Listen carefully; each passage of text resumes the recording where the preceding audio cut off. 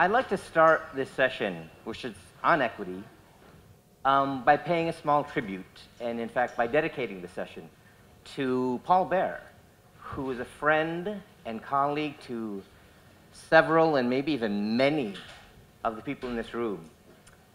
Um, Paul was a deep and passionate and insightful thinker on climate equity.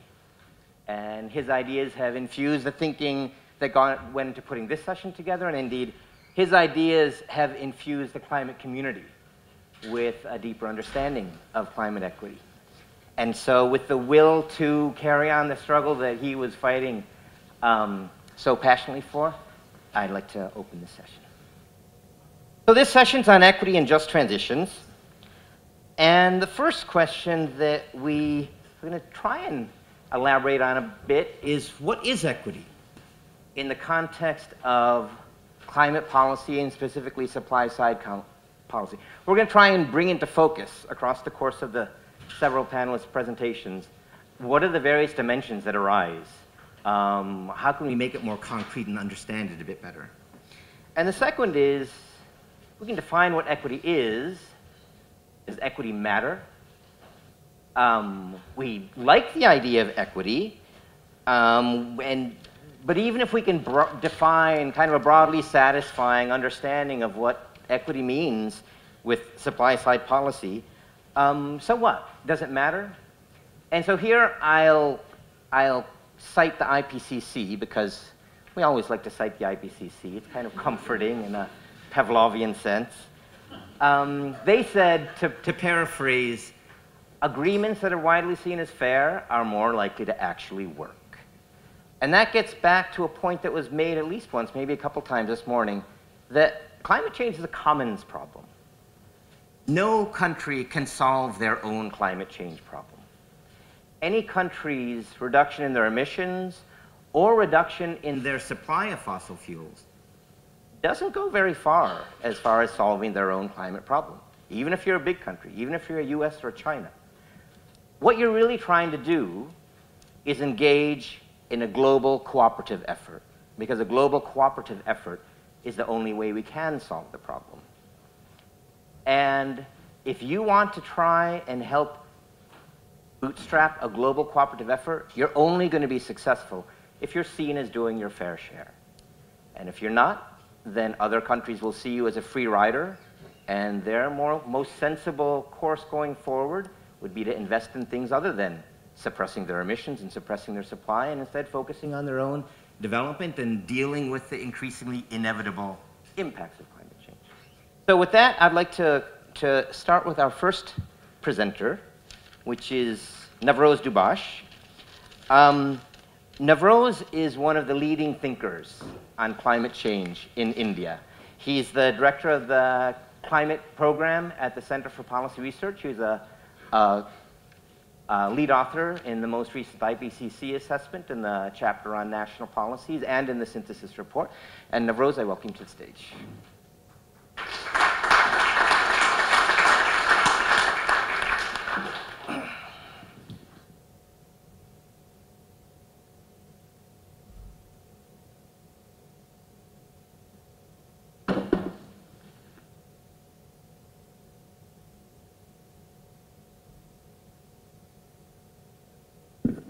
Good afternoon. Thank you, uh, thank you, Shivan, and I'm really glad that uh, we're remembering and dedicating Paul in this uh, in this session.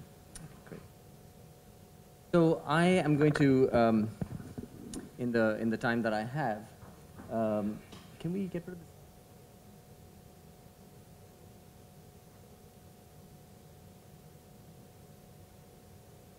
Uh, so what I'm going to try and do um, is give some content to this idea of equity through the lens of one country, uh, which is India. Uh, not the only sort of country that deals with equity issues by any means, but uh, one of uh, the sort of bigger and, and perhaps uh, countries that have a big role in shaping the debate. And I want to start actually with a, let me see, once I figure this thing out.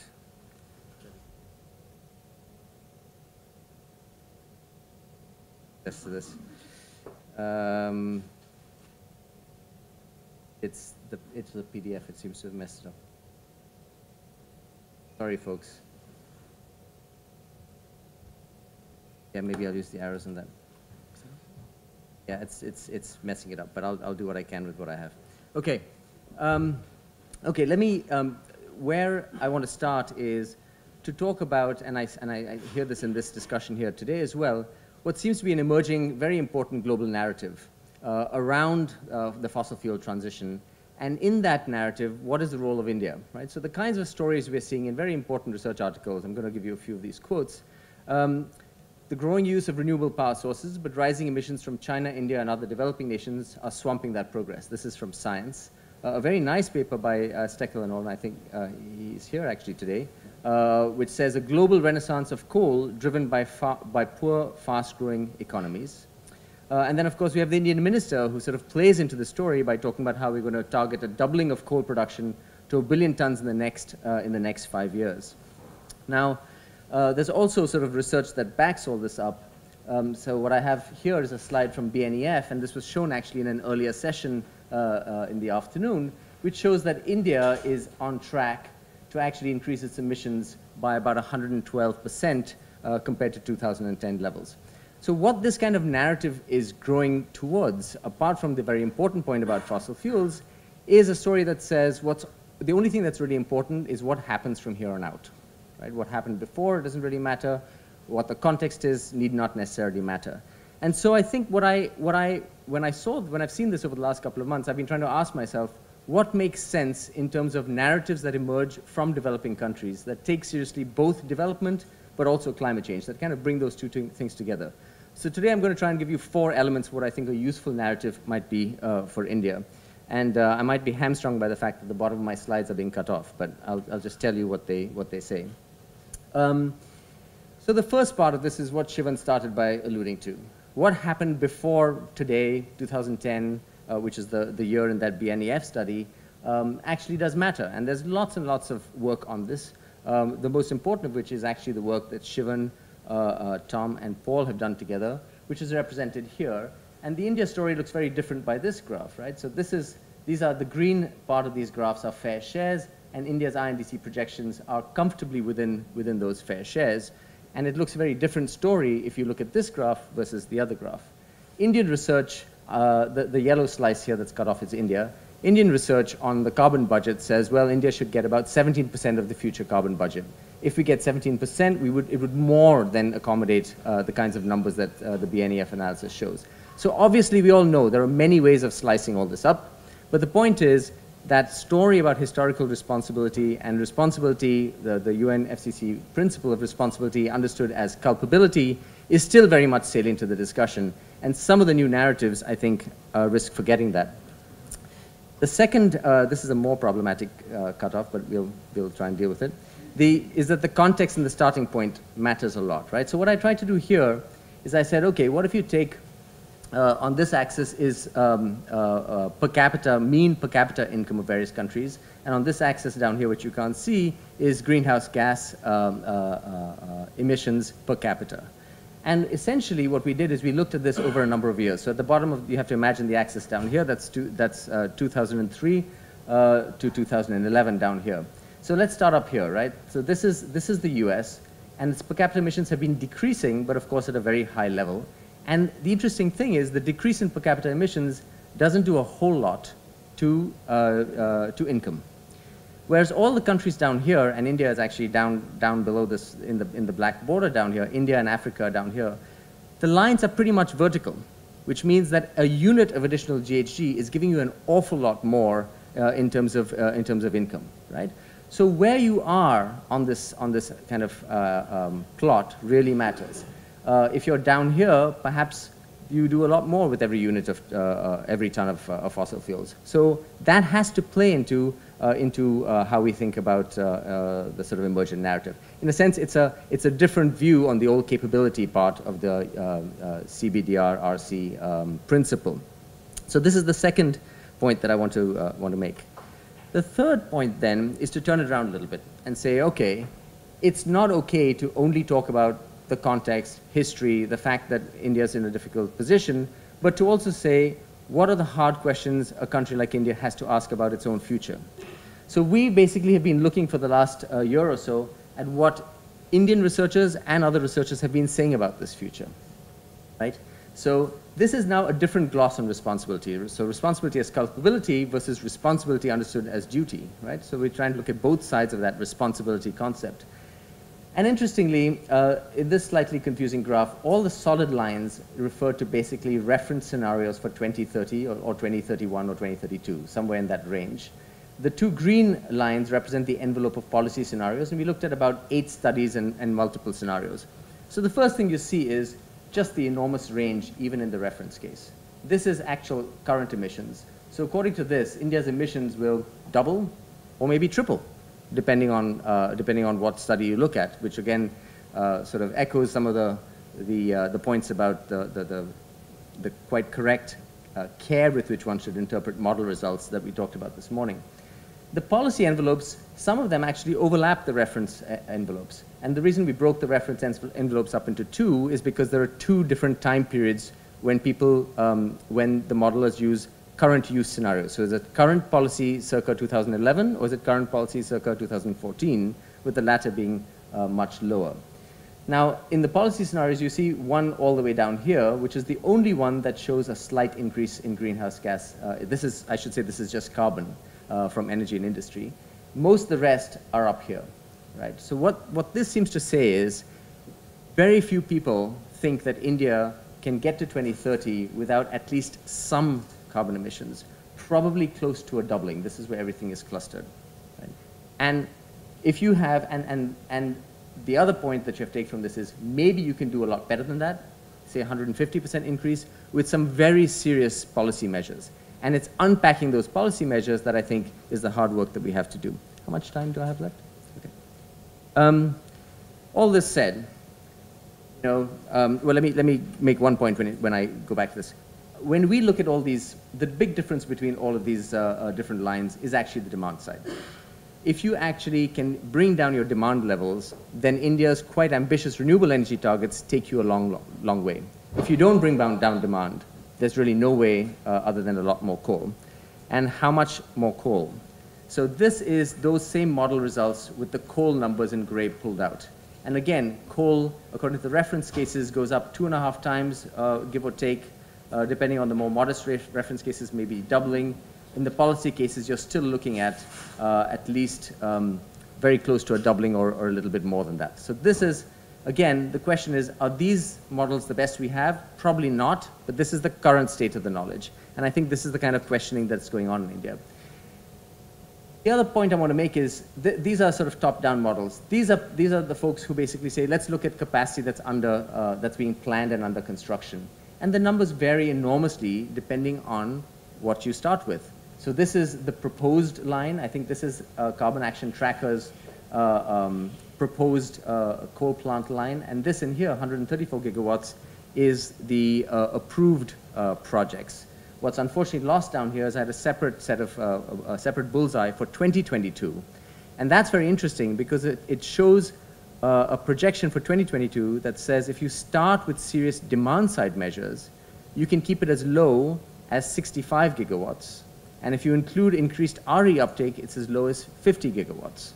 Uh, whereas if you, if you uh, look at it just in terms of the number of plants that are on the, on the anvil in some way or shape or form, it's 110. So my point is there's an enormous range, and we have a lot of studies out there right now talking about how sort of, you know, the coal bomb and so on and so forth. We have to put that in context. And we have to talk about, uh, uh, in particular, the uptake of that amount of coal, because I think some of these discussions about stranded assets and so on are very, very salient uh, in, in India. Um, the fourth element of all of this is the story about equity at home, right, which often, uh, uh, you know, in the Indian discourse tends to get uh, set aside. And I won't go into this. This is work in progress, but it's basically an update of quite a famous study by Chakravarty and all, this one, one billion large emitter story. I get the message, got it done. Um, uh, so, but this basically updates that with um, much more fine-grained data and shows that you'll actually have a lot more high emitters uh, than you otherwise thought on the order of uh, 20 or 30, well, on the order of 10 million now and on the order of 20 or 30 uh, at least by 2030. And this is probably going to go up as we, as we get some new uh, data. So I'm just going to end here.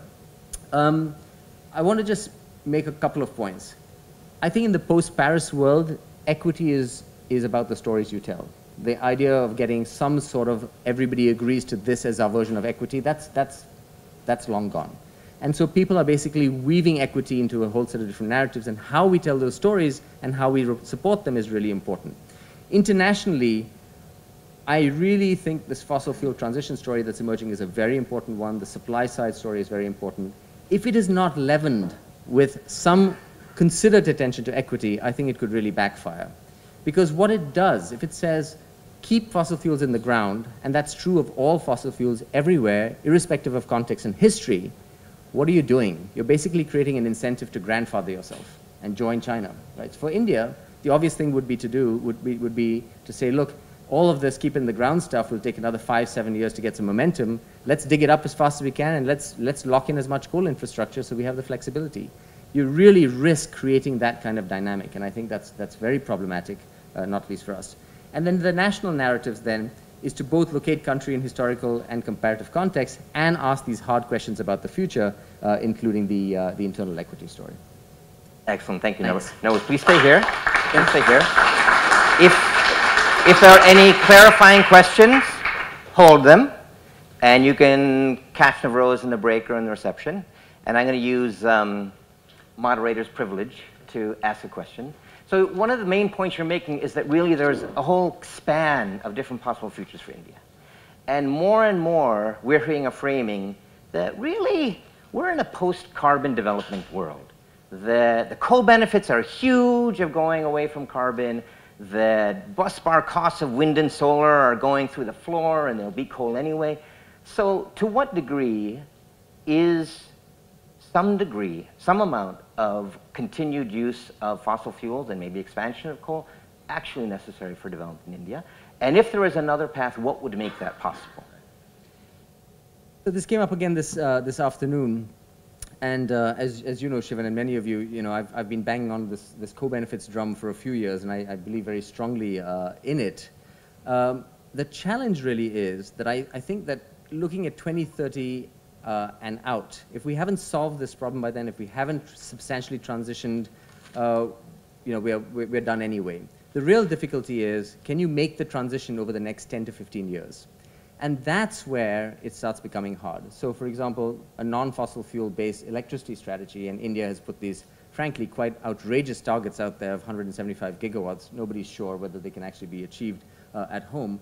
But even if you do achieve them or make a lot of progress towards them, based on the kinds of numbers we have now, it doesn't look likely that you could meet India's development needs. And the big story in India at the moment is a job story, right? So India is going through this demographic transition. We're talking about having to generate between 10 and 12 million jobs a year. No other country has done anything like this without a serious manufacturing push. Manufacturing means industry, industry means steel, cement, and so on and so forth, a lot of energy.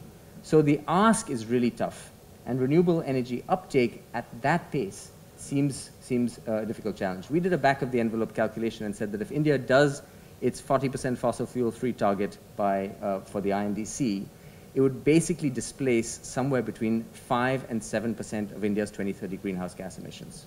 That's it. On the other hand, that 5 to 7% is about 60 to 70% of South Africa's entire NDC gain. So that's the kind of dilemma that we face, I think, right now in India. Thank you. Thanks.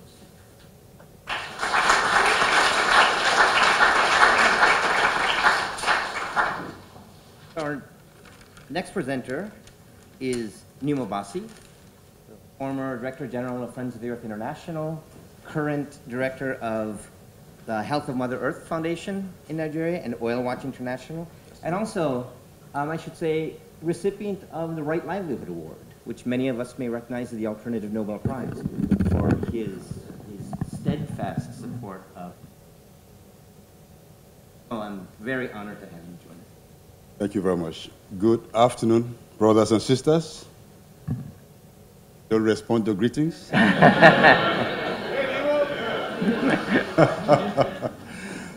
All right, that's, that's okay. Um, now, I'm sure you've seen enough graphs for today. So I've determined not to use not even one graph. But I love those graphs, especially the ones shooting above the roof. Now, the fossil fuel industry is incapable of operating in any sense in a way that's equitable. There's no equity with the sector. It's a sector that depends on exploitation without responsibility. It's the worst form of extraction, the worst form of relationship with people, with the environment, and with Mother Earth generally. So talk about equity with regard to fossil fuel industry or dependence on fossil civilization is neither here nor there. And the same thing is operating in the climate negotiations. Because the climate negotiations, as epitomized by the Paris Agreement, has nothing to do with equity. The cardinal point is the nationally determined contributions. And as Shivan said earlier, this is not based on a global scientifically calculated uh, requirement or action that need to be taken to keep the temperature at either 1.5 or well below 2 degrees. There's nothing. It's just a shot in the dark. You do what you, tell, you feel like doing, and I do what I feel like doing. And so it's business as usual in, in a way that is so nice that every country is signing on to it. And so it's a real problem we're, we're confronting. We have a big, big problem, and it has historical roots because it, it appears that mankind always looks for the cheapest source of energy. And if you can take it either through negotiation or you take it by force. And so whether it's energy from humans or from fossil fuels or whatever, it's the same paradigm, the same mentality. And the worst thing is that many parts of the world, including where I come from, we are forced to adopt the catch-up mentality without interrogating whether this is where we want to go. What, who defines development? Who defines growth? The GDP itself is being called by an intellectual the gross domestic problem uh, because it does not really measure up the truth about what's going on in any country. And so um, that's, that's the real problem. We have this problem of the narrative and the historical realities. And so oil, coal, gas, this is, as I said earlier, exploitation without responsibility resulting in massive human rights abuses, in massive livelihood destruction. And just this morning, or during break, first break time, I got information from Nigeria that there's been a massive pipeline explosion in Ogoniland, in a place that, at a point just a few meters away from where the military surveillance team is camped. And it, really, really broke my heart because the government of Nigeria has just agreed, together with Shell, who is a major corporate in this area, to begin a cleanup of the territory. And, and, but at the same time, we're still having these explosions on such a regular basis. These photos are from today, and the, I'm sure the picture may be worse than this by this time. Uh, but it's not only Nigeria. I spent a lot of my time going around Africa and some parts of the global south just encouraging communities that the hopes they have when extractive activities are about to start in their territory will be dashed. And so I, I try to get people prepared for the worst scenario. And I've seen it in the global north. I've seen a community in, in Rhineland where whole communities have been relocated, where church was desecrated so that it could be demolished for mining coal. So when you, when you find an industry that doesn't take anything sacred, doesn't respect territories, doesn't respect people, is just concerned with profit, it's very difficult to deal with this kind of industry, except, I mean, you cannot, you cannot find a way to say, okay, we can do this responsibly. It's impossible. There's no responsible mining. I'm sorry to say that. I'll take that back. it, it's hard to get responsible mining. now, um, three cases Lake Turkana is the biggest in a desert lake in the world, and it's located in northern Kenya. The environment is almost like a lunar landscape, beautiful, pristine. And guess what? When you look from the air, it looks blue. On the ground is green. And oil has been found around there. And that is a UNESCO heritage site. The Rift Valley of Uganda is a na national reserve where mining should not take place.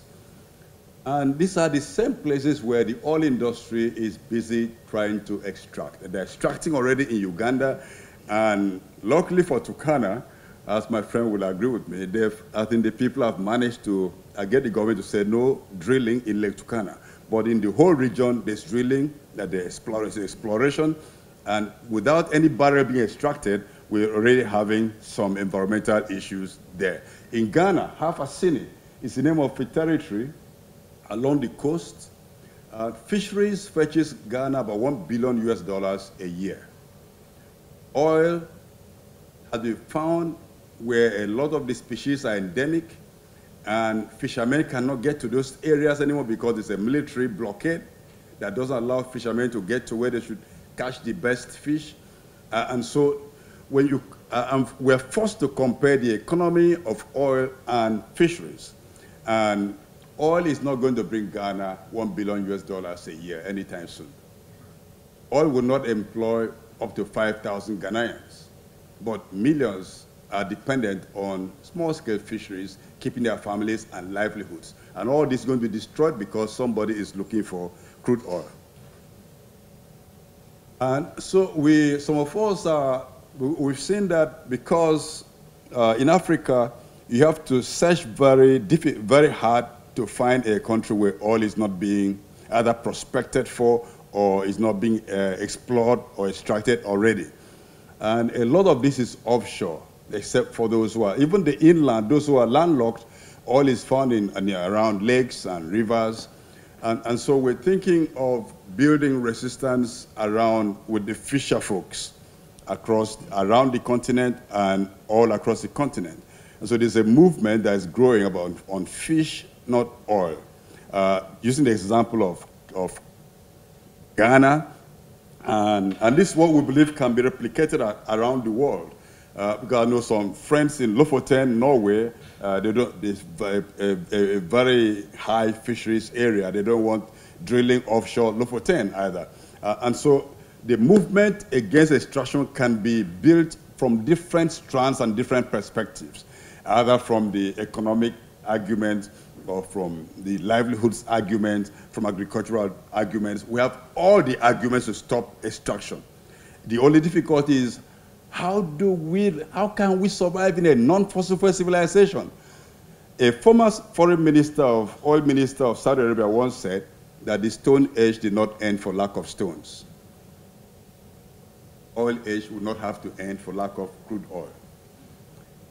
Now, we talk about keeping the oil in the ground. I firmly believe in this. I've been, we've been campaigning on this, even in my country that depends almost 80% on 85% on fossil fuels. We've been campaigning on this very strongly. And Ogoni people have succeeded in keeping oil in the ground since 1993. It's a small community. They forced Shell out of their territory. They still have explosions and pollution because there are pipelines crossing their territory. But a small set of people have succeeded in keeping a, a, big multinational corporation from taking crude oil from their territory, I believe this shows to me that it can be replicated around the world. Don't you think so? think so. Mm-hmm. now, thank you for agreeing on that. Now, Yasuni ITT was defective in formulation in the sense that it was about exchanging, keeping crude oil and getting half of the money. Now, keeping crude oil in soil not, this should not be dependent on funds on, I mean, I even have, a, I mean, I have some because with the global fund proposal that we saw this morning. The, the real thing is to preserve Mother Earth, preserve life. We, mankind is brilliant enough to look for another form of civilization. So uh, the economic consideration and all this, we're just going to keep us locked into the same trap. Now, so Oil Watch International proposed that Annex Zero countries in line with our next one of the former formulation in the Kyoto Protocol. Uh, so Annex One are the rich polluting industrial countries such, such as UK. Can feel the pollution? you can't feel it. Okay. All right. Of course you can, but come to Ogoni, you see the pollution. If you come to the bottom of the pipe, where Shell is extracting, you look at the whole lake, the whole water is covered with crude oil, and it stays that way for years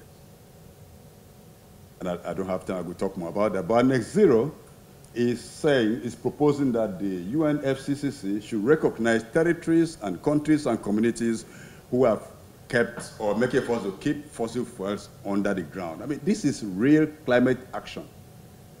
It's not uh, artificial carbon capture sequestration and, uh, and storage. You leave it where it belongs. Don't bring it out and capture it. Just leave it there. and I, I, think, I believe, I'm so happy that the International Criminal Court has decided that for extractive industries and those who destroy the environment can now be brought before it. And I think it's time to take the chief executive of these corporations before that criminal court. Thank you. Thank you, Nnimmo. Thank you. So, your, your work has had its impact and had its power because you're bringing the concerns and the voices of people in these areas where extraction is happening to a level where decisions and policies are being made, in part. There are, there are also within these communities, well, um, I ask you, within these communities, do you also see local, fully legitimate voices of people who are being impacted who feel compelled to support extraction because of livelihoods or because they see it as their way to expand their energy access. Do those voices exist? And, and to the extent they do, how do you reflect those voices? Don't ask me a fair question. That's my job. okay. Um, yeah, of course, there, there, are some voices in communities, uh, especially uh, in places where fossil fuels are just discovered. People always believe that, look, we're going to get the best of everything economic improvements, livelihood improvements. We're going to have all the facilities we need. We're going to have the best of everything. And I just give it a few years and all is gone. And so those, those voices, of course, everybody has a right to demand whatever they want to, but it never plays out in reality. Uh, and so my, my own unfortunate job is to continually douse the hopes of communities and individuals who think that there can be sustainable extraction of fossil fuels. I've not seen it anywhere. I've not seen it in Canada. I've not seen it in the US. I've not seen it in Germany. I've not seen it in Nigeria. In South Africa, people are working coals, caves, I mean, coal, coal mines on fire for decades. And people are having sinkholes and all kinds of things happening to, to the environment. So anybody who thinks, I mean, I, I agree they have a legitimate right to think the way they want to think, but it's all leading nowhere.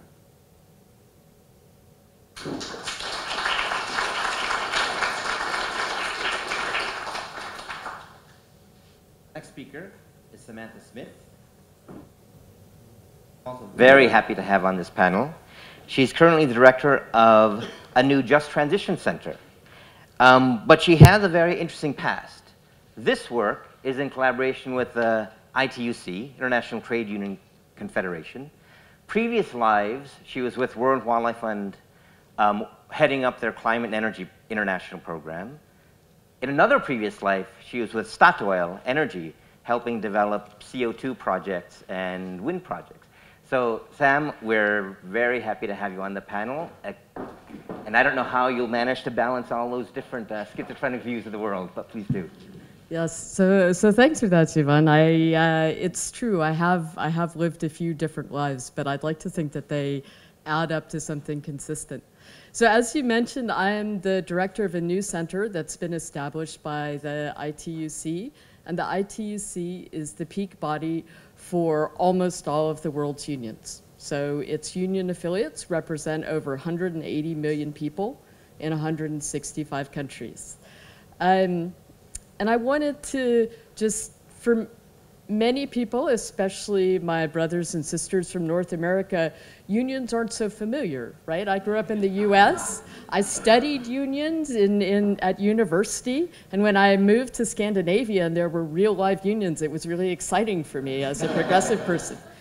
So I just, I just want to be sure that we all understand what we're talking about when we talk about workers and unions, right? So for many people in the, in the climate field, when we, when we think of workers and unions, we think of coal miners, for example.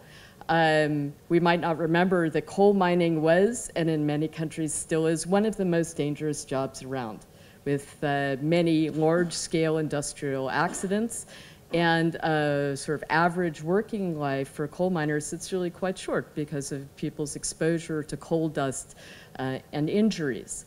But actually, unions encompass almost every kind of formal and informal worker and labor that you can think of. So everyone from women who are working in the garment sector to financial analysts to environmentalists, parts of WWF, not many, but some are unionized, to, uh, to people working in the industry, nurses, teachers, people working in shops, uh, the list goes on and on. And of course, where people don't have the right to organize and to be represented, they nonetheless organize themselves. So you have agricultural workers, waste pickers, who are in informal associations that are like unions, so that they can have a collective voice and so that they have some power over their working conditions.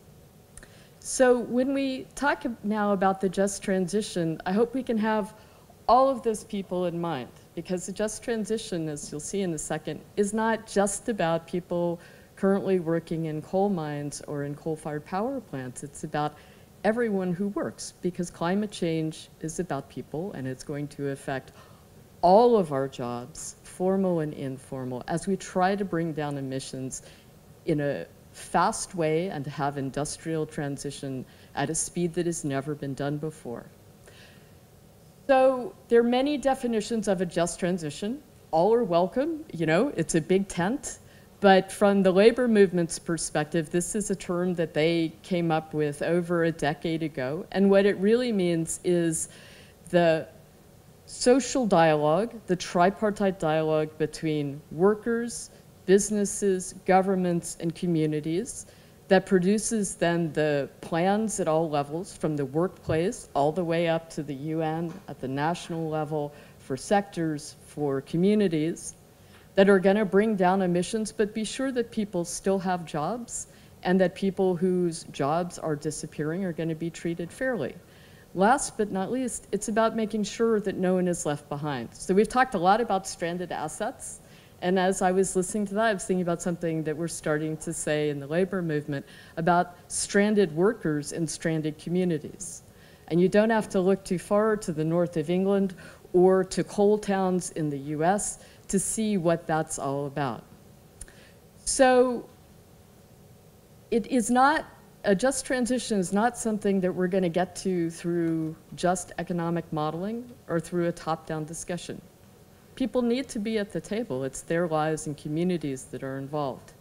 And it's also, I keep stressing communities because one of the things that we're hearing very consistently from union members is that they want jobs where they live, right? So it's not so helpful if your job is disappearing if all the cool new jobs in the wind industry are halfway across the country and far away from the place where you might have a house or have raised your kids. Now, I'm not going to go into the sort of, you know, detailed policy-driven stuff because, as my brother Nnimmo said, we've had enough graphs and charts and policy, so I won't, I won't try to, I won't try to do that. But I, I will say um, that the International Labor Organization is social dialogue at the UN level. So that's employers, governments, and workers, and they have negotiated guidelines for a just transition to environmentally sustainable economies and societies for all. So my presentation is in Dropbox. Please don't share it. I don't think I have the rights to all the pictures. But uh, you will find the links to these guidelines, and I suggest if you want to know what the just transition is, take a look there. It's also in the Paris Agreement. It's in the preamble, which discusses the imperative for the just transition of the workforce. And finally, there's Goal 8, of the Sustainable Development Goals, also negotiated last year, which is about decent work and has elements of just transition. So again, with all of those 180 million union members in mind, union, I would say most of the trade unions, their members and leaders that I at least have encountered, they want action on climate change just like everybody else. And people who especially work in sectors that are going to be affected by climate change, they really want action. So everyone who's a first responder, we know we're going to have more natural, disaster, natural disasters, more climate emergencies. Everyone working in emergency relief is affected by climate change. Health workers are seeing the impacts of pollution and the use of fossil fuels. They care about climate change Public transport workers really want action on climate change because they think there will be tons of jobs for their sectors and they have high union density. So it's just to say that the interests of workers are a bit different depending on the sector, but most workers, including people in fossil fuel unions, understand what's happening. People aren't dumb. And their main concern is what are they going to do in the future? How will they have secure lives? Now, workers have demands on just transition. And the demands, you might be surprised to see, are not just about retiring coal workers. It's actually about the new jobs. Investing in the opportunities for decent work, the sectors where young people can be trained, where they can have careers. Most importantly, that those jobs are good quality and organized jobs. So it's not so helpful if you're going from a highly skilled job with a secure contract in North America, if that includes benefits, for example, to a job as a, on a zero hours contract, part-time, not skilled, no opportunities to skill, to skill up. So when we talk about the creation of new jobs, you know, also as environmentalists, it's important to think about the quality of the job. And is that job organized so that people can push back on corporate power? They want respect for people who built our prosperity, because whether we like it or not, and living in Norway, I can certainly attest to it, fossil fuel companies built prosperity in some developed countries. And so we should respect the contribution of those workers, not throw them away when they're old and their industry is dying, but instead be sure that they have pensions and medical, medical care. We should have a social floor. It's important for everybody, a social floor that includes unemployment insurance, that includes health care, that includes all the things that make it possible for people to transition from one job to another without fear. And finally, we should try to formalize jobs so that all of the, the vast majority of jobs in this world are actually not formal. People don't have contracts, they don't have rights, they're not protected by laws. So especially in the fields of agriculture, but also everyone who's going to be a first responder in uh, disaster relief, those jobs need to be formalized. Now, I see the sign, so I'm going to try, since I know we're almost done, I'm just going to try to be really fast. I just wanted to say a few words about the ethical dimension of calling for leaving fossil fuels in the ground and for this very fast transition should know that, as I said, many people in the labor movement are completely on board with that. As someone who's worked for social change for a good part of my life, it's very exciting to see that things are starting to change. And despite some of the things we've heard today, I actually believe we're in the middle of a gigantic transformation. But having said A, having called for divestment, having called for an end to fossil fuels, we should also say B. And B is about making sure that opportunities, new opportunities are available for all the people who aren't in work today and for people whose industries are going to have to be phased out because of climate change. I'm not going to say that there's this wonderful world of opportunity and climate change is only about co-benefits and opportunities. It's not, right? You're talking about real transition, transformation, and very difficult decisions.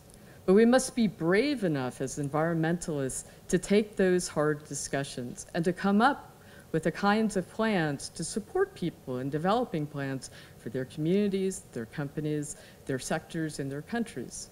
Plans that don't just talk about emissions and cost curves, but that talk about what are people going to do in the future and how can they have safe and decent work. Thank you.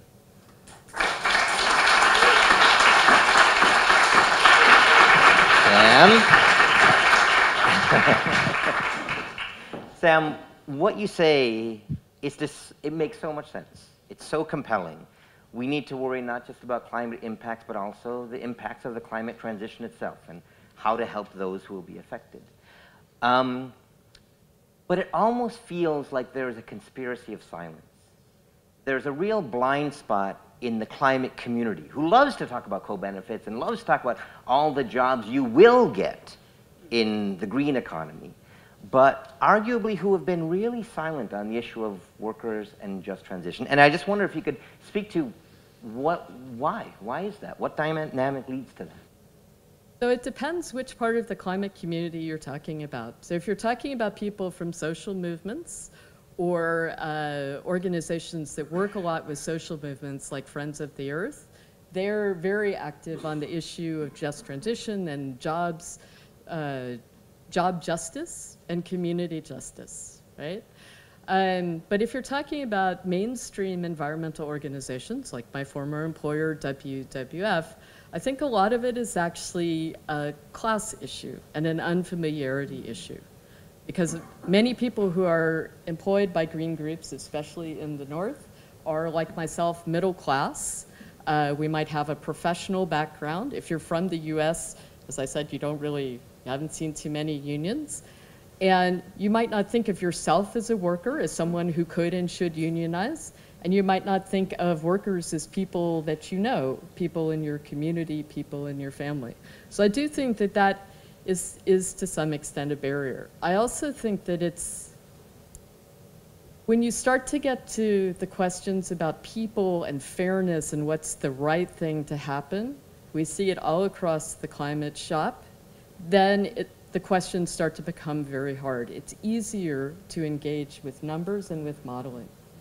And so, uh, so I think that now that we're at the point of implementing, now that we actually have to do where we have five years to get emissions down really quickly, we must be sort of courageous enough to push away these barriers of class and discomfort and to have the hard discussions. The last two things I want to say about unions is conflict is not always bad if you're a trade unionist. I mean, people use strikes and walkouts and so forth as methods of negotiations. They're not afraid of conflict. But the point is that you can have conflict and then you can reach agreement afterwards. And the second thing is that unions are democratic. So all of the positions that I've talked about on just transition and climate change, those have been adopted through voting of members of unions and adopted all the way up to the highest level. Union leaders are generally always elected, and they're elected on a platform. So you know when you're negotiating with unions, that's the basis for their positions. Fantastic, Sam. Thank you very much.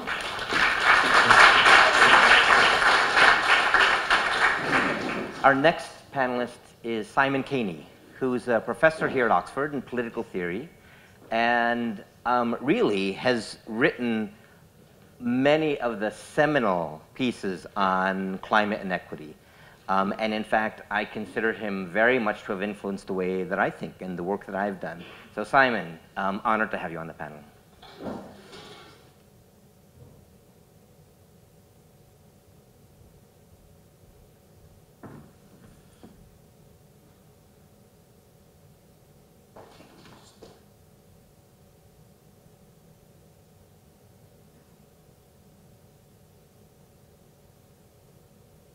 Thank you very much, um, for that kind uh, introduction and, and for the invitation. Um, thank you also for mentioning Paul Baer, whose uh, work uh, with Tom Athanasiou and yourself I, greatly admired. So. what I want to do in, in my sort of 10-minute slot is uh, do three things. Firstly, I want to say why uh, we can frame the issue about stranding fossil fuel assets in lots of ways, a scientific way, an economic way, political economy way. I think those are legitimate, important ways, but it's also a question of ethics and justice, and I want to bring out exactly why that's the case. And then the, the second and the third bit are to put forward some principles for what you might call um, supply-side ethics. So why should we frame it as an issue of justice? Um, justice, by which I mean distributive justice, is about the fair distribution of burdens and benefits. And so whenever you get a policy decision which confers benefits on some and disadvantages on others, like it or not, whether it's inconvenient to point it out, it's an issue of justice. And one thing we need to consider then is what's a just distribution of those burdens and benefits. If we take as a given, which I think we should, that we have to keep a lot of fossil fuels in the ground, quoting the McGlade and Ekins paper, then we have to confront um, a series of questions about just rights to extraction.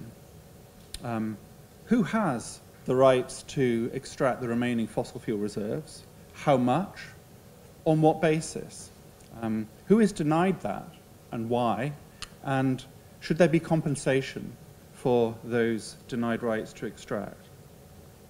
But just fleshing this out a bit more, um, you know, when we allocate rights to extract, on what basis? Is it um, cost optimization basis, which was mentioned this morning by Professor Ekins? Is it um, a function of past extraction? If you've used a lot in the past or extracted a lot, you should have less now. Is it to do with the level of development? Um, is it some other criterion? Uh, these are questions of justice. The second one is compensation. If you're told there's an opportunity that you were relying on um, to pull yourself out of poverty, are you entitled to compensation? Then there's a question of whose rights. Um, you know, who actually owns the fossil fuel reserves? Is it the private landowner or a company? Is it the government so it can sell them off um, and then pocket the gains? Is it the members of the country? Or is it the world as a whole? You know, are we going to be cosmopolitan and think these resources belong to humanity?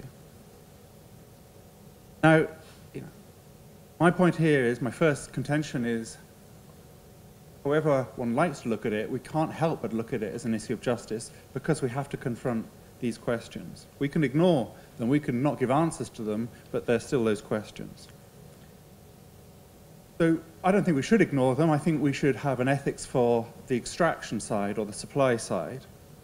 So um, a lot of climate ethicists have talked a lot about um, the demand side.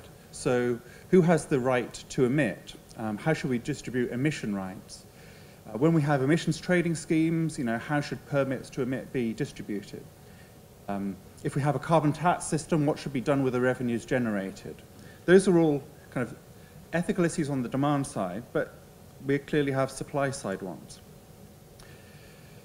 But I think the kind of values that people often invoke uh, on the demand side you know, apply here in a different format. So one, and this follows on very nicely from um, the previous presentation, is uh, any just transition must honor human rights. So if we're going to have an outcome, which we will, where some people's assets are, are stranded and they can't use them, then we need to find a way of stranding them such that their human rights are honored. Now, you know, what would be the implications of this? When first thinking about this, it struck me that, you know, some people will say, well, people have a right to develop. We have this limited uh, resource um, we should allocate privileged access to extract fossil fuels um, to those living in severe poverty, so fossil fuel rich developing countries. So in other words, if we appeal to things like the right to develop, should we allocate um, extractive rights primarily to those um, in developing countries? So here's a couple of uh, reasons why I don't think we should go down that route, or at least it's a lot harder to make that argument than, than you might first think. The one is this argument assumes that if you respect the right to develop, it entails a right to extract natural uh, resources there. But if you're thinking about extraction because of domestic consumption, because you want to use the coal um, for domestic use, then this argument only goes if you haven't got access to other sources of energy.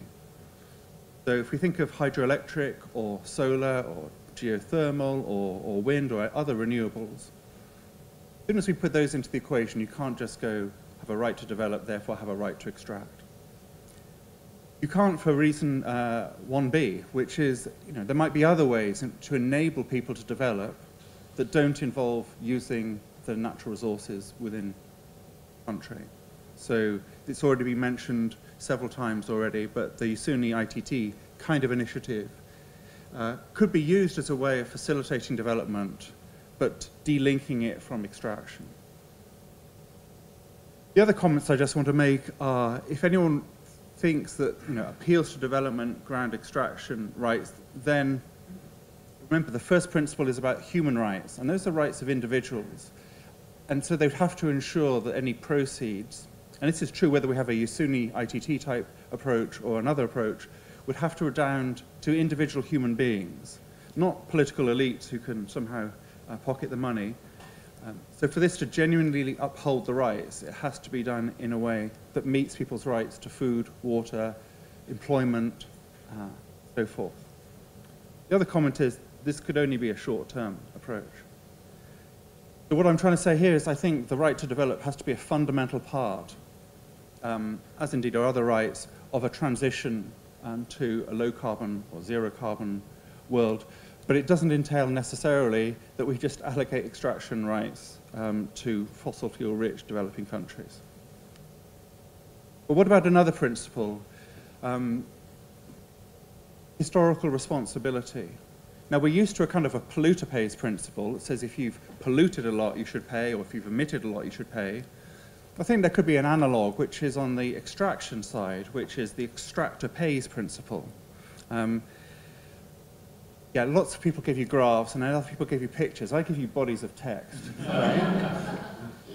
I'm sorry about that. Um, but the gist of it is, you know, the more that an agent, um, like a given society, has extracted and benefited from extraction in the past, um, then the lesser claim they have to the benefits of the remaining fossil fuels. The less that a party has benefited from extraction in the past, um, then the stronger they have a claim to the existing fossil fuel reserves or the benefits from them.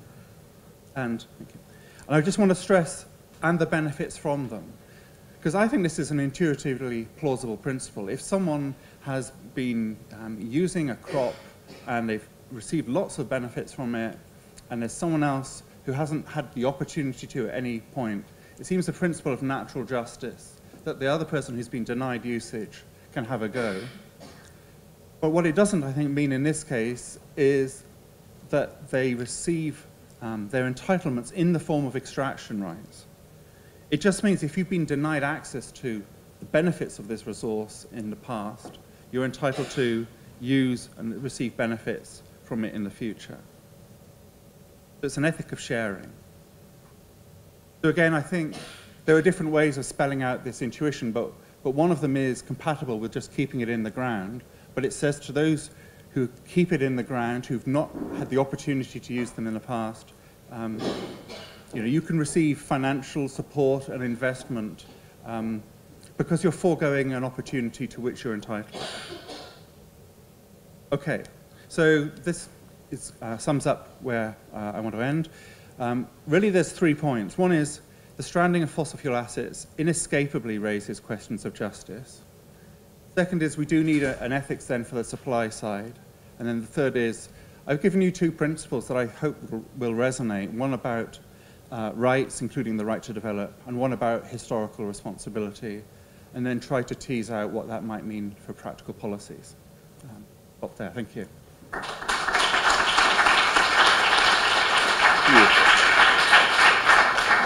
Thank you, Simon. I, I find this very compelling, not only because it's grounded in basic fundamental ethical principles, but that's also how we often act within polities. We try and respect human rights and we try and, and hold people accountable for actions they've taken.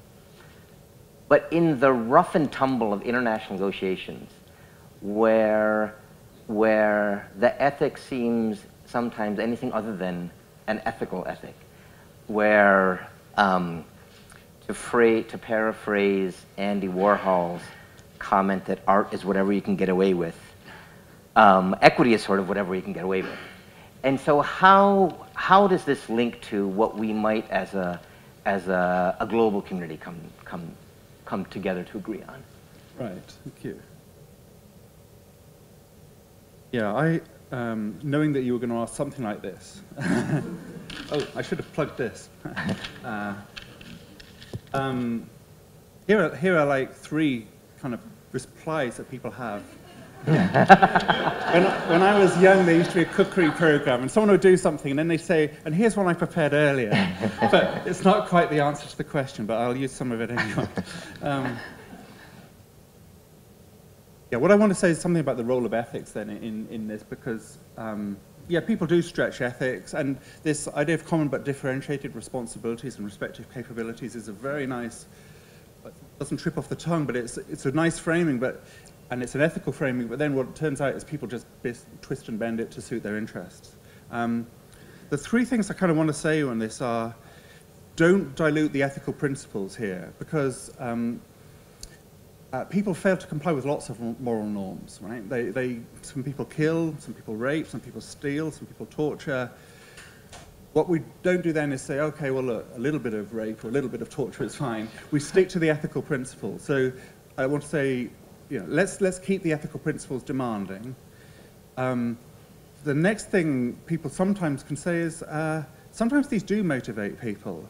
Uh, you know, his, I agree that, you know, with Keynes um, here in the general theory where he says um, economists and political philosophers, that I'm a political philosopher, um, uh, their ideas, both when they're right and when they're wrong, do shape ideas. And one illustration of this actually is the idea of dangerous anthropogenic interference or dangerous climate change. Many people who think of themselves as hard-boiled realpolitik think there's an overwhelming imperative to deal with this. I can't make sense of that except as an ethical norm or an ethical value. Because why on earth would you do this? That the best explanation is you think it's just wrong to mess up the planet, maybe in itself and for, fu for future generations. Now, here, reply three is, I think, the best way to deal with this, which is to say, look, people often do have ethical motivations and intentions, um, and the thing we have to do is to try and to tap into it and harness it. So um, there's this idea in international relations of norm entrapment. People sign something uh, thinking this is meaningless, and then what civil society actors can do is latch onto that and say, well, you promised transparent government, what are you doing about it? Or uh, you promised a responsibility to protect, what are we doing about it? And so I think things like Article 14.1 of the, the Paris Agreement or the, the facilitative dialogue part are kind of opportunities that people can have to say, well, politicians profess these moral norms. Here, here are four by which we can try and hold them to account for those. I'm not starry-eyed. I don't think this is going to revolutionize them, but I, I, think you can kind of tap into some of these moral motives and... Uh, Thank you very much. Thank you. Great. And our final panelist is Greg Muttitt, a senior advisor at Oil Change International, and also author of a report just out, The Sky's Limit, that I think there might be copies of out there, but if not, Greg can provide a URL, which is a fantastic report, some of which we'll get a glimpse of in, in this presentation. Thank you very much, Greg.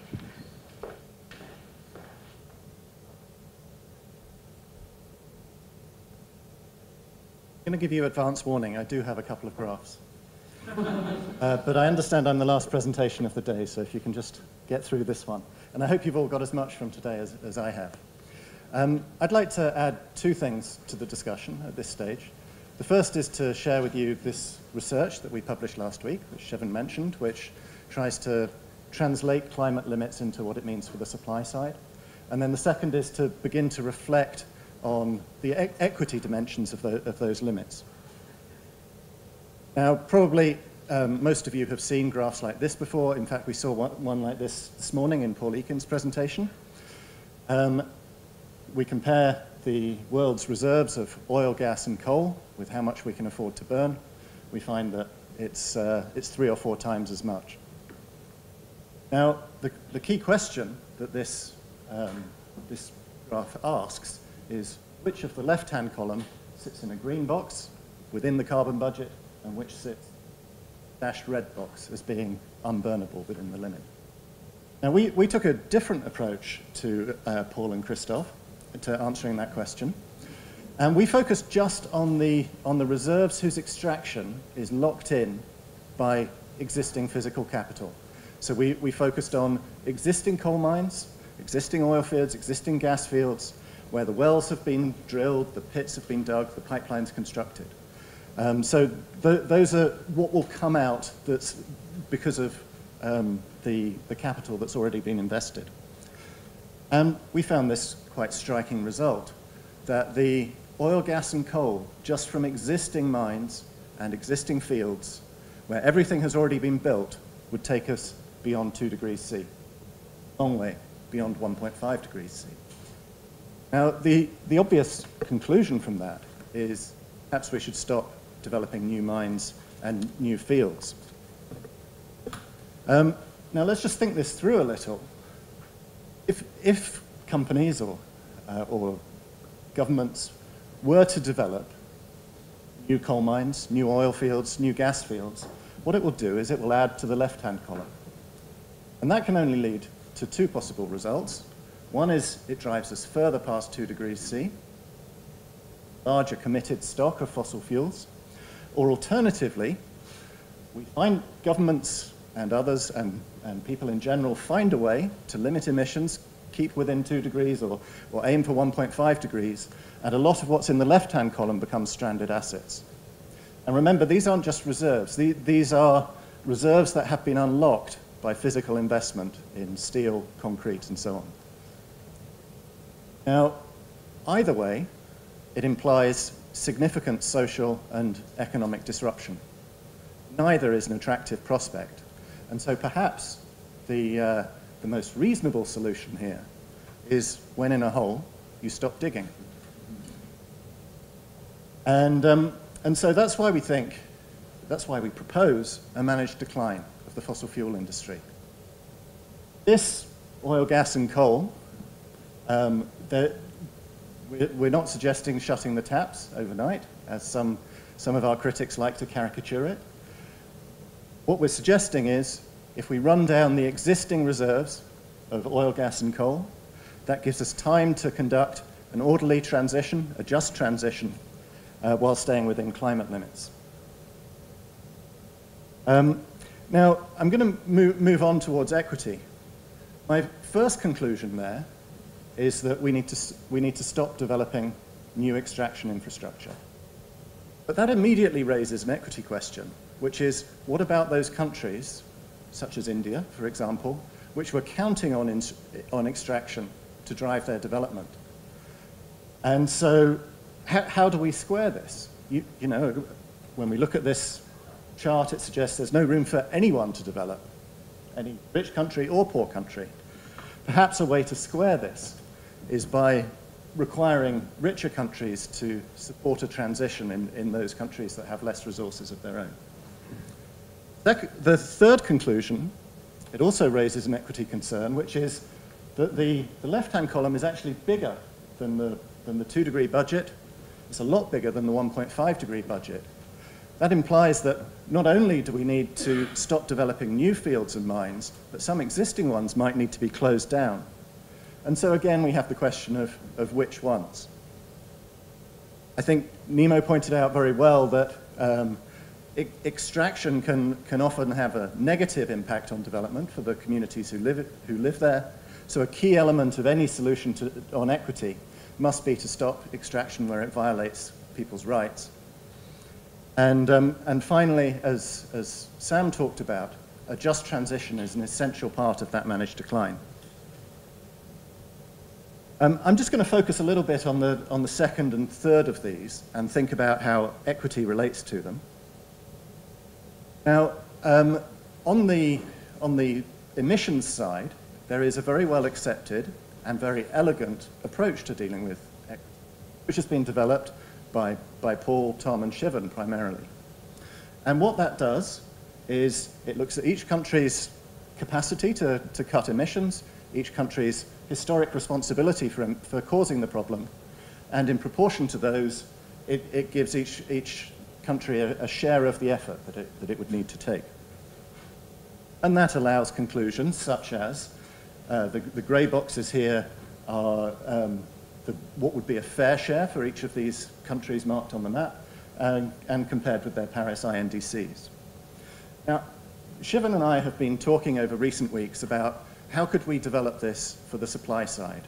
If there is going to be action on, on the supply side of fossil fuels, then equity has to come into it. And can we work towards a similar framework to, to what, what has been developed on the demand side?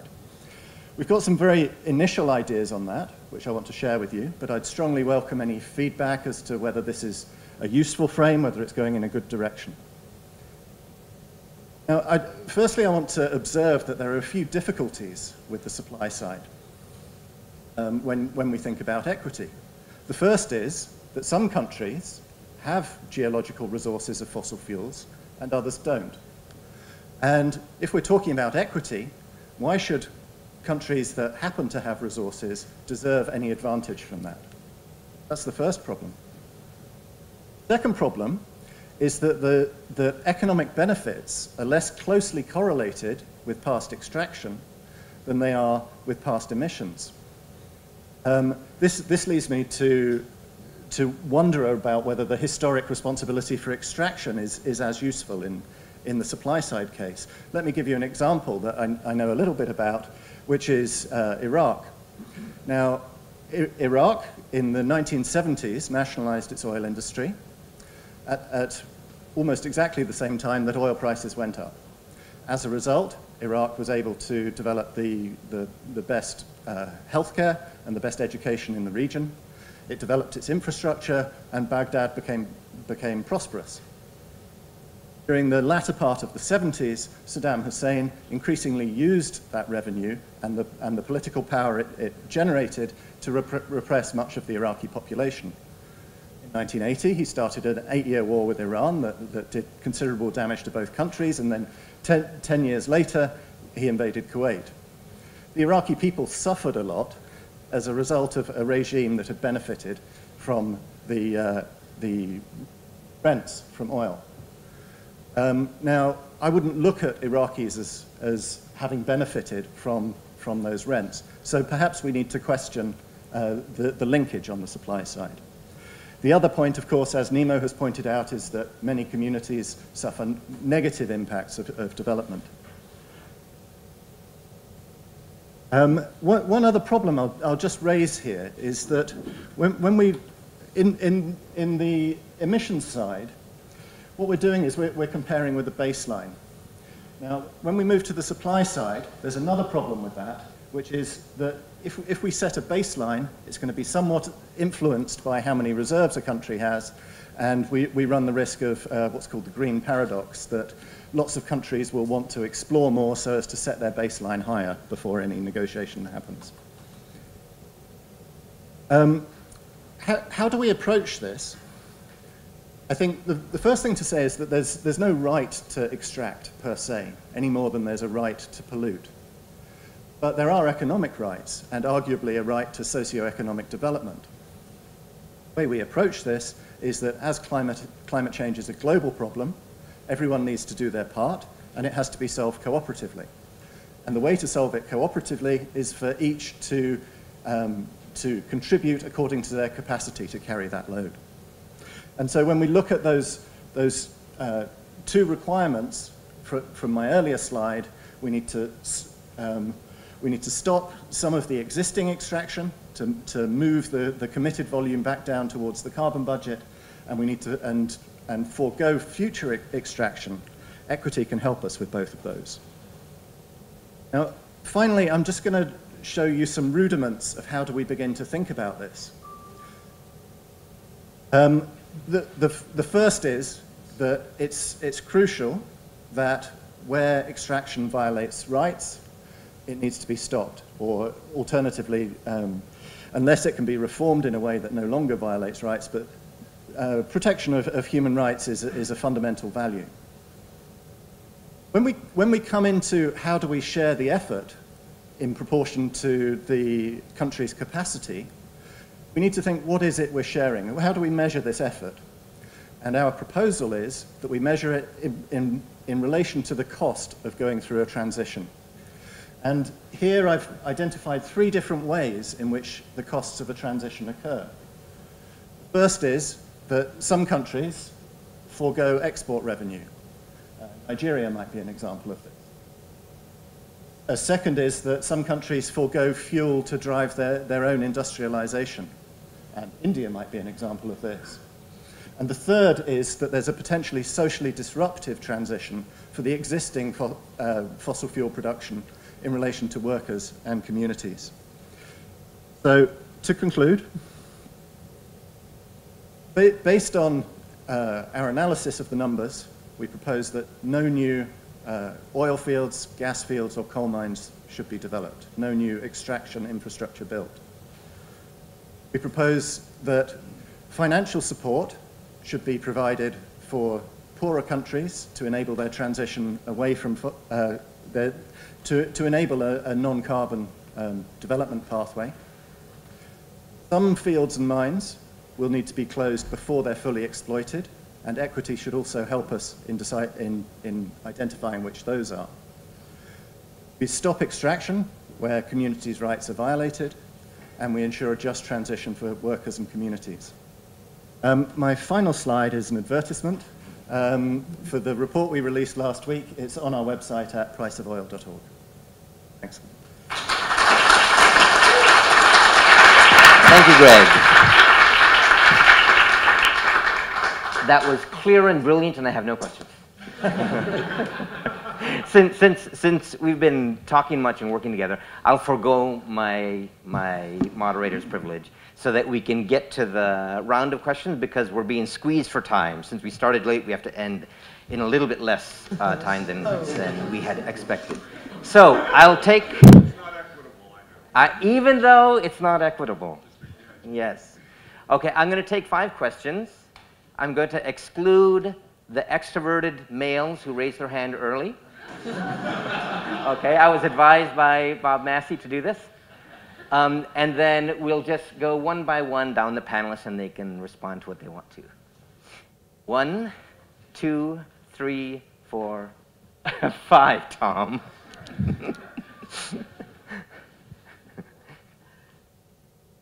uh, thank you very much. They were all excellent presentations. Um, I, I, have to leave the question open. I don't know who to ask, really. It touches upon, I think, a very absent actor in the presentations, the petrostate. Uh, Greg mentioned it. I think in equity um, discussion, it has to be present as a petrostate. And the question is, um, what do you, what will you do with this actor in terms of the unions in these states not being maybe under the model, the NGOs maybe following rentist motives sometimes, and the politics and the institutions of these states being very much historically path dependent created around this, no?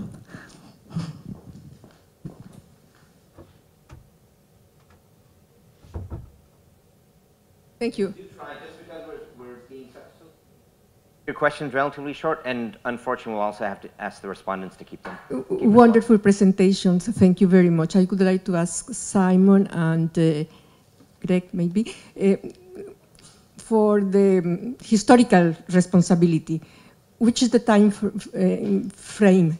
Because uh, um, exploitation in Iraq was before Iraq was a state, and it did not benefit Iraq before that at the beginning of the 20th century. Then what is the, the frame? And the second is if there is a moral responsibility, then we have to depart from the Pareto efficiency that nobody, that everybody has to be at least the same of, which is a status keeping uh, moral. Okay, thank you.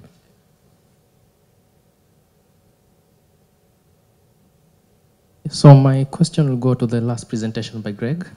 Uh, I'd be very much interested to know your argument for your preference to uh, clean energy finance and not compensation, given that compensation would look more ideal and uh, green finance has inherent uh, challenges uh, that have been in climate finance, for instance, uh, if it's loans overburdening countries that are already overburdened. We'll be very much interested to know your argument for the distinction. Thanks.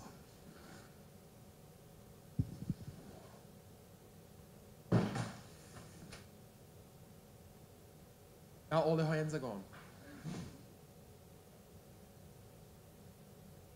So my question is uh, to Sam really, because I think we need some examples of what this just transition is going to look like because so many communities just get left behind from post-industrialization, steel, coal, changes in technologies.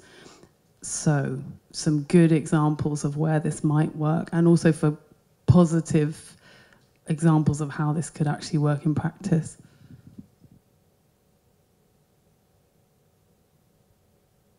Speaking in as an extrovert here. Um, look, the TCFD is looking at financial uh, recommendations on scenario analysis and what to do. Um, we're trying, I mean, I say we, there's a strong movement to try and get them to come out with some reference cases, at least the IEA. Now, we found it hard enough to get, you know, these companies to look at the IEA.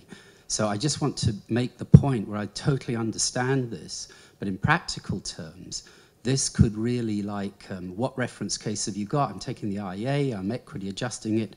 You know, the fossil fuel companies are looking for every excuse to say why they're not going to do this stuff. So just, just sort of that my commenters might be aware that this is a tricky moment in terms of scenario choosing.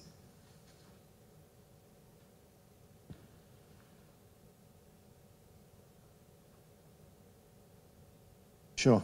Um, so I think three of the questions were directed to me, and I'm, I'm going to do them in reverse order. Uh, the, the, first is about finance versus compensation. Um, just to clarify, by finance, I don't mean only loans, and you, you raise a lot of important problems with that. It, um, it can also include grants. Um, and in, in, fact, that would make more sense since it's, uh, it, it's carrying out a responsibility. Uh, the reason I don't talk about compensation is because of the sheer scale that would be required to, to replace the, the revenues that come from the fossil fuel industry. I mean, we would be talking about trillions. Um, and and I d- I don't see a way of doing that. In, instead, um, I, I, look at the, the, um, the opportunity cost and hence investment in, in transition rather than compensation for, for lost revenues. Um, I think there are also political difficulties with, with compensation related to why should a country that happens to have, have done well geologically deserve compensation. Um, on the question about Iraq, um, the, the situation now is that um, since about six or seven years ago, multinationals have been operating the, um, the majority of the, of the oil fields. Um, and ever since they arrived, corruption skyrocketed. Um, again, I, th I, think the, the interesting thing about that is that it, it raises an, another dimension of the, of, of, the difficulty of connecting um, extraction with benefit, because uh, given that high level of corruption, um, over, inf, overinflated expenses and, claimed by the companies and so on, the, the, the benefit aspect of it becomes, um, becomes muddled. And then fi finally, on the question of, of petrostates, um, let, let me just throw out a nascent idea on this which, is, which relates to OPEC. Um, OPEC is often thought of as a cartel. Um, I don't think it's a very good one insofar as it is a cartel. It hasn't been very successful at, at keeping prices flat during, during the time it's, it's existed. Um, it, it, it can shift prices in the short term, but doesn't have an ability to fight long term trends. Where OPEC, I think, was really significant was in the 1960s, in its first decade, and into the early 70s, where there were the, uh, one of the most important aspects of international relations was, was the demand for permanent sovereignty over natural resources. And in that, OPEC facilitated its member countries renegotiating first with, with the, the, uh, the European and American multinationals that were running the oil in industries there, and ultimately leading to the nationalizations in the 70s. Now, the interesting thing for me there is that OPEC, as, as a as a coordinating and facilitating body, enabled oil dependent countries to go through a really important transition for their future. And an interesting idea for me is can OPEC play a similar role in relation to climate change? Uh, wrap up right after this round. Um, also, feel free, panelists, to make any parting comments that, that you'd like. Okay, can I um, respond to the question on uh, the time frame and relationship to efficiency? I mean, it's a good question, but it's a very hard question, and time is limited. So can I just say, I think the way to think about the time frame is it does depend on what you think is the unit. So if you think it's a country is the moral unit, then you go right back to whenever Britain started or France started extracting. If you take an individualistic approach and you just look at individual human beings, then you don't go back that far. And I think the further you go back that far, the harder it is because you deal with, the, with those people who say, What's it got to do with me? I didn't extract them. Um, one comment on efficiency. I'm, I'm, pleased you raised that because uh, I think you, can, you could combine it with an equity approach because you could say, and, and I don't know if this will work, but I, will say it and then I can get um, shot down, is you might say, look, who could extract should be done on who could do it in the most efficient way possible. Um, but then if you are denied access to extraction and you're uh, a developing country, you're entitled to compensation for that. So in other words, you separate the question who uh, extracts from um, who should receive benefits. Um, you don't want to give it to someone who's very inefficient at extracting, who's very leaky, it doesn't make the best use of it, I think. Um, could I just say a couple of things in relation to um, some things Greg had said, because um, I think we're closer than he might think on this. So what I'm calling the extractor pays principle doesn't say uh, Iraq benefited, therefore uh, contemporary Iraqis don't, because it denies that contemporary Iraqis have benefited. It looks at it from the point of view of individual human beings. So if there's been extraction in the past and it hasn't improved the quality of people's lives, then the principle just doesn't apply to them. This also applies to countries like Eritrea um, or Swaziland, which don't have, uh, as I understand it, fossil fuel reserves. What it does say is if you've benefited, if you've genuinely benefited from the extraction in the past, you have less claim now to the benefits from the remaining ones. If for whatever reason, whether it's corruption or you just don't have the stuff in your lands, if you didn't benefit from these resources in the past, then you have a stronger claim to the benefits of these resources now, because others have had a go. So contemporary Iraqis are not people who have benefited from it. Um, political elites, maybe. Thanks, Simon. to see if I can muster my voice for a couple of these questions.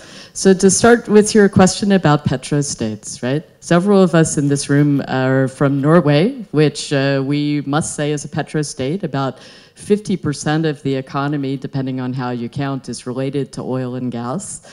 Um, and, uh, and there's a tight nexus of power between the oil companies, particularly the ones that are state owned, the government, the unions, and the political elites. Now, it's a small country of you know four and a half, five million people, so everything is tightly connected. But uh, but nonetheless, we really are talking about this concentration of power. Um, the when you're going to have a transition in countries where so much of the economy depends on fossil fuel, then you have the question of the rents that the state is getting from extraction, which are critical critical income for the state. That's not only true for Norway, it's true for any fossil fuel exporting country. You have the effects on the currency of the loss in value of their assets you have, and you also have the general instability of the economy as you start to go through transition. Now, um, that from a union perspective, yes, per specifically about where are unions on this? They're where you might imagine them to be. I mean, people in energy unions understand the change is coming. They might disagree exactly on when it's coming and should they be affected and is the right you know, time for the end of oil and gas 2050 or 2100, but they understand that change is coming. And especially young people who are working in the oil sector, they want to work on renewables. In fact, it's a recruitment issue for oil companies and for unions, for oil unions, to get younger people. That's why the industry as a whole is aging. Young people want to go into the green part of the companies or work in a green job. It's true everywhere. How do you break up that power? Well, some of it's happening from outside, right? The drop in the price of oil has uh, lessened the financial power of the sector on the government, on workers, on different regions. And I think that trend is just going to accelerate. The other way you break up the power is through the efforts of civil society, which even in Norway in these conditions has done a great job trying to uh, illuminate and pull apart this nexus of power. Yes. Anymore. And we're going to get kicked out of this room. Okay, so let me just give one good example. You asked for a good example on just transition. We have almost none, eh? That's the problem. So when you say transition to workers, they think job loss and stranded community. But in Canada, there's the start of a process. I can't say it's going to be result in perfect, uh, perfect outcomes, but the government and the Canadian Labour Congress are starting a process to appoint a task force on just transition, come up with a national just transition plan. There's going to be money attached to it. There's going to be a massive infrastructure budget coming out in the first part of the year, where some of it's earmarked for green things like public transport. So we must see if that turns into the best example we have so far. Then there's some others I can tell you about later. Thank you. I'm very aware of Sivan uh, hovering uh, ominously. Uh, so I'll be, yeah. Um, right. Thank you, Sivan. That helps. Um, let me just make a couple of quick uh, comments. I want to actually, uh, Greg and Sivan's work uh, where they ended up, make a quick comment on that and tie it to one of the questions, or the comments rather, on scenarios. So I think you all ended, Greg, by saying, uh, well, really what this needs to be about then to manage this transition is financial support to enable, um, uh, to enable countries that will have foregone sort of industrial opportunities to make the transition. That was one of the points you made. And I just worry a little bit that we're falling into this, this game that economists have played with policymakers for so long, which is, well, yes, of course, winners could potentially compensate the losers, and therefore it's Pareto improving, and then the compensation never comes.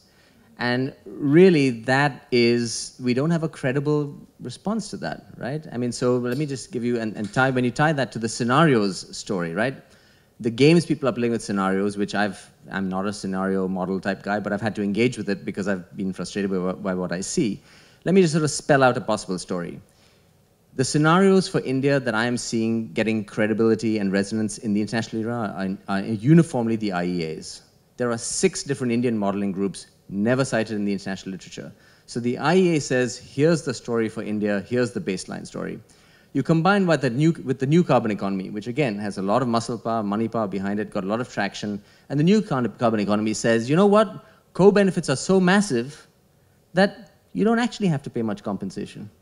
You put IEA and NCE together, there's very little money on the table. And that's what's dominating the discourse, right? So there's a, so in the political economy, we really have to worry uh, about that. Where I find the more, uh, where I really think the action is right now is in India, there is a fertile debate about how much coal we need. There are social groups, there are grassroots groups asking this question, pushing back against mining. Here's my worry. This global discourse provides a reason to suppress that dialogue. And that's my real worry, that the perverse incentive politically is that the domestic political process gets skewed by a perception that uh, that, um, uh, you know, all the stuff I tried to say about grandfathering and so on and so forth.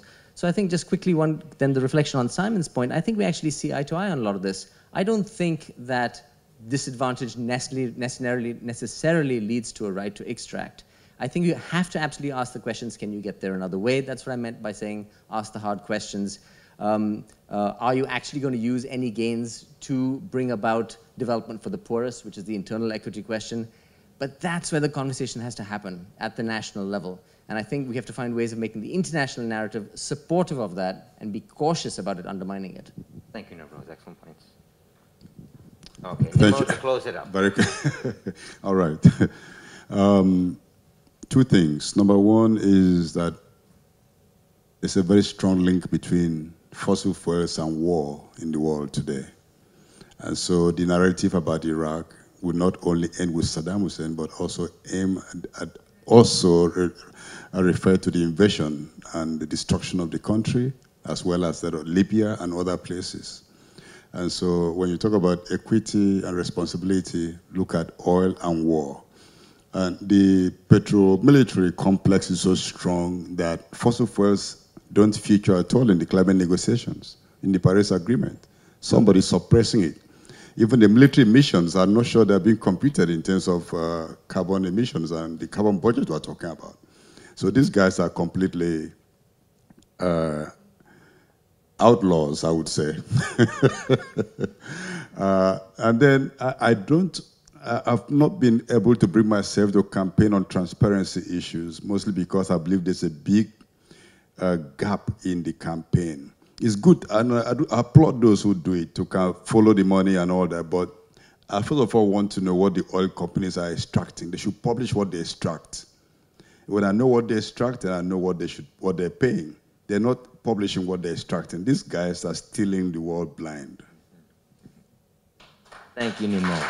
I have nothing that I want to add because I don't want to stand between you and the reception, which will occur directly across the quad, except, oh, no, just here, directly across the, this, this, okay, directly out the door. The only thing I want to say is thank you very much, panelists. You made for a fantastic discussion.